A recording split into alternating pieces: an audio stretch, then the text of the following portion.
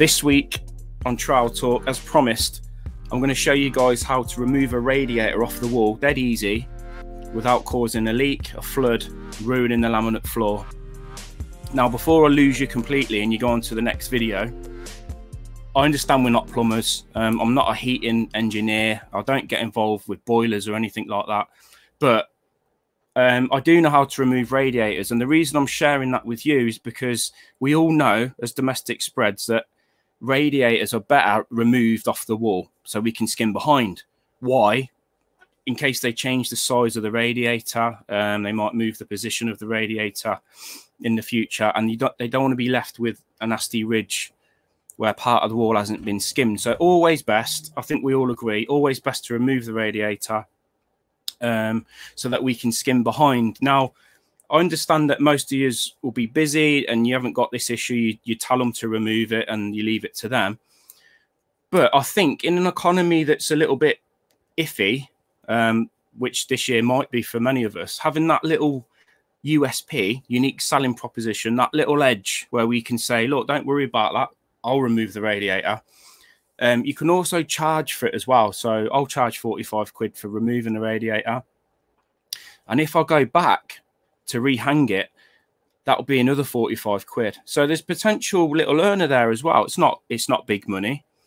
But on top of that, just think about this. On top of that, how many times have you skimmed out a room and thought, I'd love to get some after pictures once it's painted for my website, for my socials, for my Facebook page, for my Instagram page. I'd love to be able to say this was the room before we plastered it.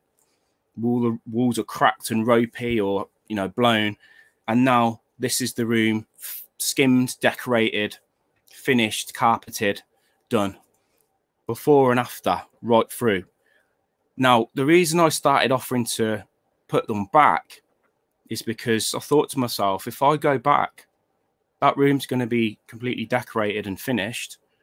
Once I put the radiator back, and it will take me five minutes. I can then pull my phone out and get some content, get some photos of the finished room. So it's sort of um, gives us an opportunity, an excuse to return to that job where normally we, we would never see the room finished normally.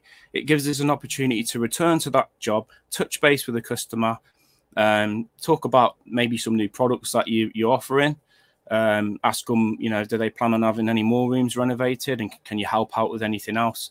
It gives you an opportunity to open up a dialogue um, make them happy putting the radiator back. So you get the five star review, a glowing review, and then you can also get some photos of the uh, finished article. So that's another reason why um, I do it. So before we get stuck into the actual nitty gritty of me showing you how I remove the rads without causing a leak, there's a couple of things I want to um, just talk about. What tools are you going to need? And how do you isolate the radiator? So first things first, okay, when you go in to remove this radiator, guys, you need to first isolate it. Now, you do that by turning the TRV clockwise. So you'll have uh, your, your thermostat on the right-hand side. Turn that completely off by turning that clockwise. And the other side, um, normally you'll have a little plastic cap. And under that cap is a little nib. So you remove that cap, get some pliers, and you'll turn that nib clockwise. So just like turning the taps off basically. And what that'll do, guys, it will stop water flowing into that radiator. Now you've still obviously got water within the radiator. It's still full. And in this video, I'll show you how we, deal with um, that and stop it from splurging out all over the floor. But that's the first thing you need to do. Isolate the radiator.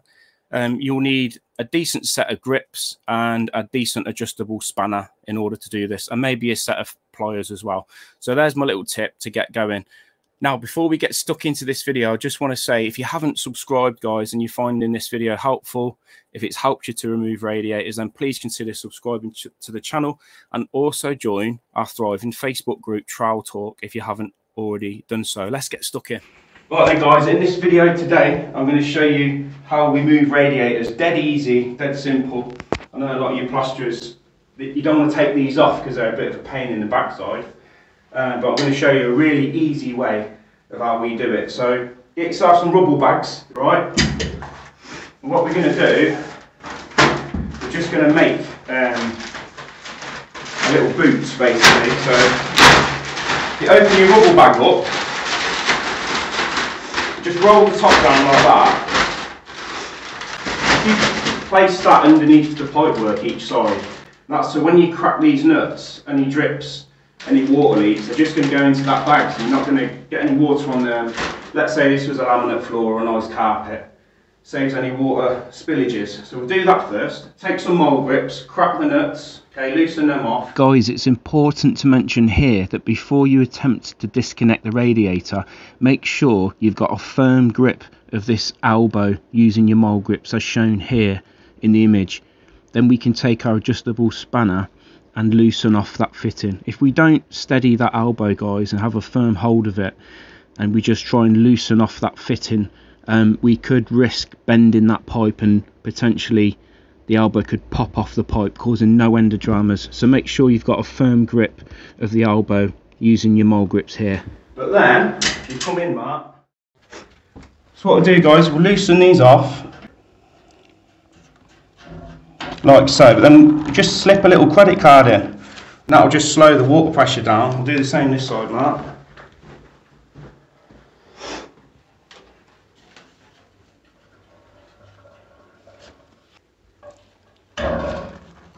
slip a little card in.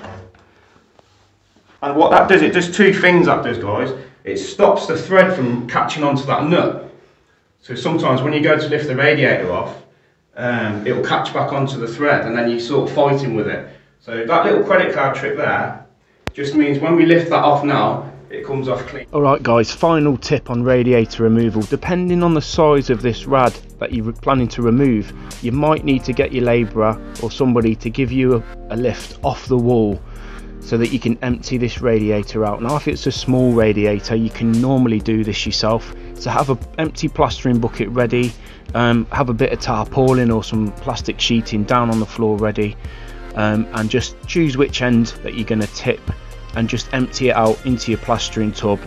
What I then normally do is flip the radiator upside down so that the pipes are at the top, no risk of any um, you know black horrible black dirty water leaking out anywhere. So flip it upside down and then you can just leave it out the way ready to crack on with your plastering. Guys I hope this video has helped you out today.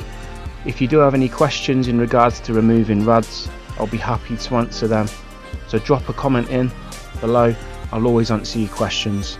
Have a good one. We'll see you next time.